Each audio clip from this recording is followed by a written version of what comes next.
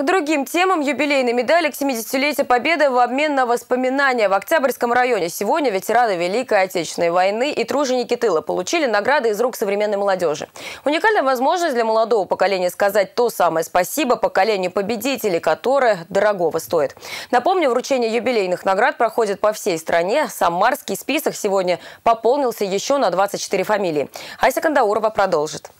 Актовый зал Дома молодежи полон, но те, кому не хватило места, не уходят. Это тот случай, когда волонтеров не надо приглашать специально. На патриотических мероприятиях, рассказывают организаторы, всегда очередь из желающих помочь. Если быть честным и искренним, то, конечно же, мы ничего не знаем.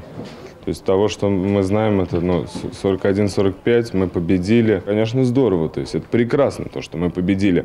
Только как мы победили, вот это надо помнить. И надо помнить тех людей. Сегодня особенный повод вспомнить. Юбилейная медаль к 70-летию Победы. Благодарность от тех, кто сегодня живет благодаря их подвигу. Ветераны войны и труженики тыла. На этой встрече те, кто после войны трудился на благо Октябрьского района Самары. И для них эти поздравления не пустые слова. В ответ они обращаются с пожеланием к молодежи. Никогда не видеть вам страшного такого ужаса, какой пережили мы. И чтобы всегда летали только мирные самолеты, чтобы никогда не падали на вас бомбы, чтобы никогда-никогда не страдали ваши близкие.